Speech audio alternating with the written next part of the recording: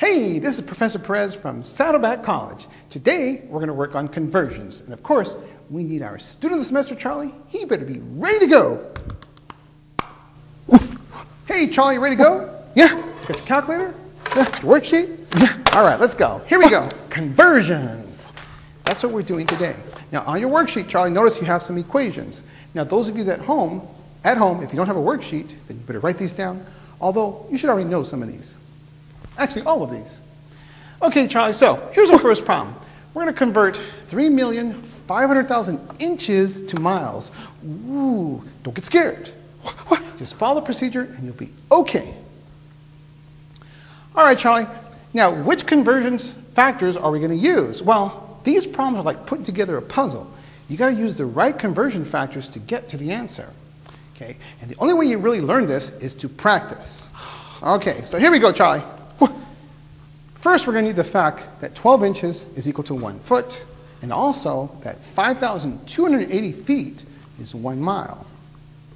Now, to begin our problems, we first write out a ratio, 3,500,000 inches over 1. And now we're going to convert inches to feet by using the fact that 12 inches is 1 foot. Now, how do we do this? Notice, here's our conversion factor, and notice we put inches on the bottom and feet on top. Now, why do we put inches on the bottom, Charlie? To cancel. So the inches will cancel, leaving us with feet. Now, if we were to do our calculation now, our answer would be in feet, but we don't want feet, we want what, Charlie? Miles, miles, that's right. So now we got to convert the feet to miles using the fact that 5,280 feet is one mile. And notice, here we go, we write our conversion factor, and notice we put feet on the bottom and miles on top so that the feet will do what, Charlie? Cancel. They'll cancel. Notice our only dimensions that are left are the miles. So those dimensions are what guide you through the problem.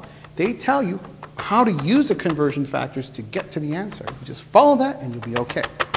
All right, now it's just a matter of putting the numbers in your calculator. And Charlie, what'd you get? 55.2399? That's right, 55.2399 miles. Notice our only dimensions that were left were the miles. Remember, that's what we wanted. Okay, Charlie, so for the purposes of this presentation, we're going to round our answer to the nearest thousands. That means how many decimal places, Charlie?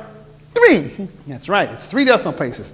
If you're having problems rounding problems, then you better go back and watch some of those earlier videos, read your notes, and get this down. Okay, so Charlie, round to nearest thousands, what do you get, Charlie? 55.240. 55.240 miles. Very good. Don't forget to box your answer. That was so much fun. Let's do another one. Here we go, Charlie. Okay, now in this problem, we're going to convert 15 yards to centimeters. Now, Charlie, how big is a yard? This big. Okay, how big is a centimeter? This big. Okay. Now, are we going to get a lot of centimeters for our answer? Yeah. Yeah, it seems that way, right? Because, you know, yards about that big, centimeters about that big. Okay, so we should get a lot of them because we have 15 of these yards. Okay, so here we go. We first start by writing a ratio, 15 yards over 1. All right, now, what are we going to do first, Charlie? Convert to feet. Convert the yards to feet by using this conversion factor, 3 feet over 1 yard. Notice we put the yards on the bottom, so they will do what, Charlie? Cancel. Cancel. At this point, our answer is in feet. We don't want feet, Charlie. What do we want? Centimeters. We want centimeters. Well, how do we get from feet to centimeters? Well, we want to go from feet to inches first, and then we can use the fact that one inch is 2.54 centimeters to get to those centimeters. So here we go. Notice here in our next conversion factor, we use feet on the bottom, inches on top. That's because we want the feet to do what, Charlie? Cancel. Cancel. Now remember, 12 inches is one foot. And so at this point, our answer is in inches, but we don't want inches. We want what, Charlie? Centimeters. Centimeters, that's right. So we're going to convert those inches into centimeters by using the fact that one inch is 2.54 centimeters. But what goes on the bottom, Charlie? Inches. Inches on the bottom and centimeters on top because you want the inches to cancel out and just leaving you with the centimeters. So there's your last conversion factor. Our answer is in centimeters. And so all you got to do now, Charlie, is put the numbers in your calculator and what do you get? 1,371.6? 1,371.6, and don't forget, our dimensions that are left over are centimeters. So there we go. Now, remember, we want to round our answers to the nearest thousandths. So how do we round this one? Your answer that you gave me was only to the nearest tenths. So how do we make it to the nearest thousandths, Charlie? Put two more zeros. Add two zeros to it. That's right. And our answer is 1,371.600 centimeters rounded to the nearest thousands. Don't forget to box your answer. Oh, what fun. All right, let's continue. Okay, Charlie, here's another problem. Let's make it a tough one. Here we're going to convert 65 miles per hour to feet per second. Okay, now this problem is like two problems in one, in that we have to convert the miles to feet, those are the top dimensions, and on the bottom, our dimensions are hours, and we got to convert those hours to seconds. So there's two problems in one here. So here we go. We first write out our first ratio. Now notice here, we have 60 miles per hour over one hour because that's what 65 miles per hour means. It means 65 miles per one hour. Hmm. Okay? So we have dimensions on the bottom now. All right. Let's first begin by converting the miles to feet. That should be very simple. We're going to use the fact that 5,280 feet is one mile. So, Charlie, if we're going to convert those miles to feet, what goes on the bottom? Miles. That's right, miles on the bottom and feet on the top. And notice, there's our conversion factor, 5,280 feet over one mile. And what happens to the miles, Charlie? Cancel. That's right, they cancel. Hmm. All right.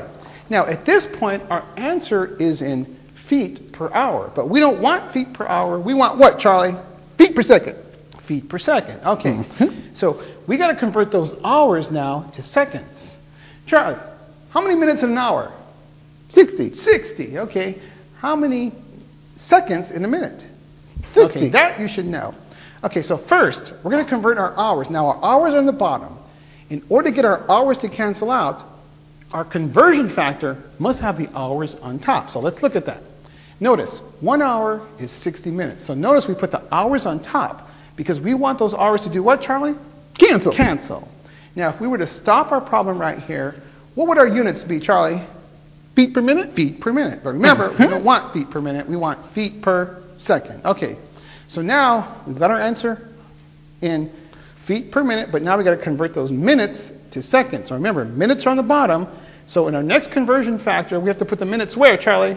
On top. On top. So notice, one minute over 60 seconds. Because remember, one minute is 60 seconds. We put the minutes on top so they'll cancel leaving us with seconds on the bottom. And notice, what dimensions are left, Charlie? Feet per second?